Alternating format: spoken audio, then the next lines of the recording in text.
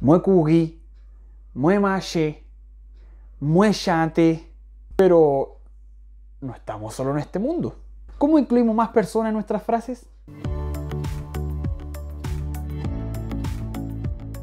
Bonjour amis pamio, bienvenidos a Creol con Franco. Muy bien cuida por un lanza más bien un nuevo video. Muy se fue como el año faso por un amelio ya no vale creola. Este es el espacio para que aprendamos a hablar criollo haitiano. Hasta este momento hemos aprendido varias cositas que son útiles pero todavía faltan varias cositas que debemos analizar. Así que te invito a que te suscribas al canal, dale a la campanita para más contenido, te invito a que también lo compartas con alguien que conozcas que le interesa el criollo haitiano. Y no te olvides, si tienes cualquier duda referente a los temas que estamos tratando en estos videos, puedes dejarlos ahí abajo en los comentarios. Ahora vamos a tratar el siguiente tema, los pronombres sujeto y objeto. ¿Qué significa eso? Bueno, con la información que hemos analizado hasta el momento, ya podemos mencionar a alguien que está realizando cierta acción en determinado momento. Pero claro, como mencionaba al principio, en este mundo no estamos solos. Es por eso que lo que vamos a aprender en este video es cómo podemos agregar una persona que reciba la acción que estamos realizando. Cuando mencionamos la siguiente frase, él habla, que en creol se diría li ahí estamos mencionando al protagonista de la acción cuando decimos li. Y la acción sería hablar, ¿cierto? Ahí tenemos entonces el sujeto, pero podemos agregarle otro personaje a la historia, porque el personaje no está loco, no está hablando solo, sino que está hablando conmigo. ¿Cómo lo diríamos ahí entonces? Diríamos, él me habla a mí. En creol sería li palemue. Li palemue. El primer pronombre es el sujeto, porque es el que realiza la acción. Y el segundo pronombre, el que viene después del verbo, es el que recibe la acción. Por eso le vamos a denominar pronombre objeto, el que recibe la acción. Lo bueno de esto es que vamos a utilizar los mismos pronombres que ya aprendimos en el otro video. Y menciono esto porque, por ejemplo, en inglés los pronombres objeto cambian con respecto a los pronombres sujeto. Entonces hay que memorizar dos cosas. ¿Se dan cuenta? El creol es más fácil. Veamos entonces otros ejemplos utilizando el mismo esquema. ¿Cómo diríamos yo los conozco a ellos?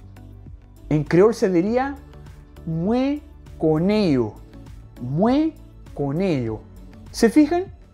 Quien recibe la acción, es decir, ellos, va detrás del verbo. Así de sencillo. Ahora, ¿cómo diríamos ella me entiende a mí. Ella me entiende a mí. En ese caso diríamos li comprend Li comprend Y ahora cambiemos el tiempo para hacerlo un poquito más interesante. ¿Cómo diríamos? Ellos te vieron.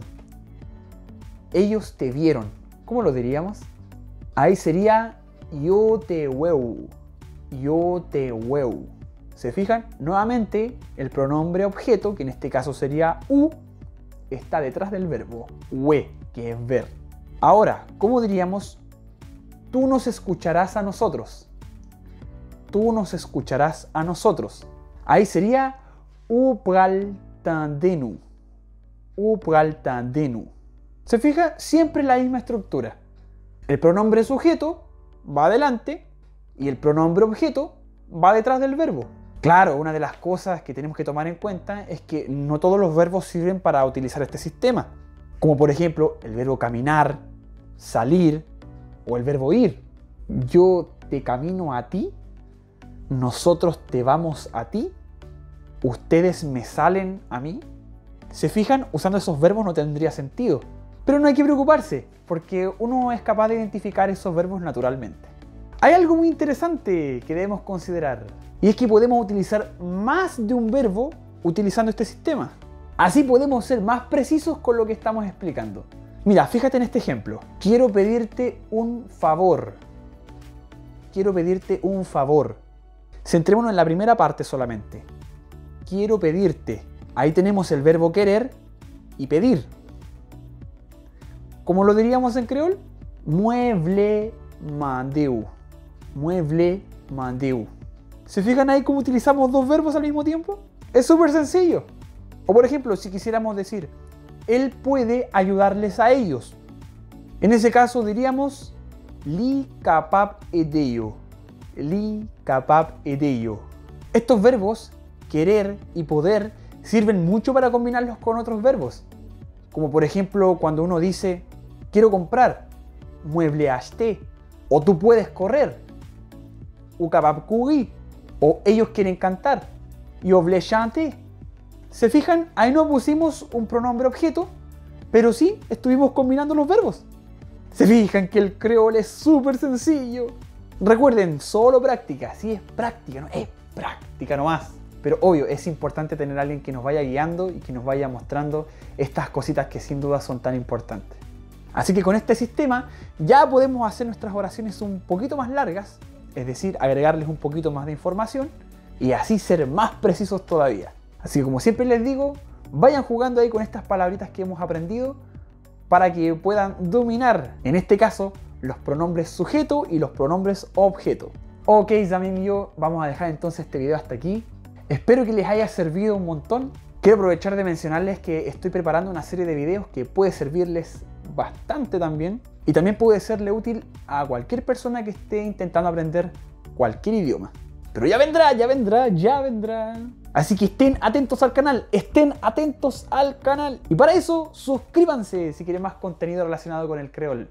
Y claro, por supuesto, como te había dicho, si te gustó, te invito a que me des un me gusta y compartirlo también con otras personas. Y como les mencioné antes, cualquier duda que tengan sobre lo que estuvimos conversando en este video, pueden dejarlo ahí abajo en los comentarios. Visita mi Instagram también para que sigas aprendiendo más sobre el creol, el creol sí. Así que recuerden, se vienen más sorpresas.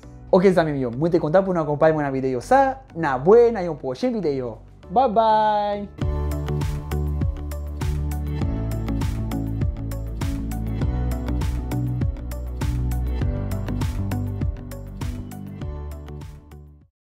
Quiero aprovechar de mencionarles que estoy Quiero aprovechar de mencionarles que estoy haciendo. ¿Cómo era?